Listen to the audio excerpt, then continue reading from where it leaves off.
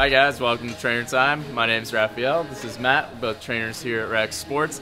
And today I'm to have Matt run through a few different squat limitations. We're going to run over some things that can help you bring up your squat. So Matt, you want to jump in that squat rack? All right. First thing we're going to talk about is just heel elevation. If you feel your heels coming off the ground on a squat, as Matt's to demonstrate, you notice how he's coming forward, knees are super unstable. He's shifting a lot of that emphasis onto his quads, taking a lot of the hamstrings and the glutes. So Matt, go ahead now and sit back onto the heels.